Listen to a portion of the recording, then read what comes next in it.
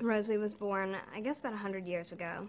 And um, she was engaged to be married. And she uh, and her fiance, actually, him and his friends, they like, there's some sort of brutal beating session that went on. And so she's very bitter and she's very angry. So I think it's nice to look at the other reasons and layers why characters act the way they do. Twilight's a love story. It's like the Romeo and Juliet of the human vampire world. And what's amazing to me is that it's appealing to so many different age groups. I think it's got a lot of adult themes, a lot of adult ideas. This idea of like unconditional love um, that I think just human beings in general long for.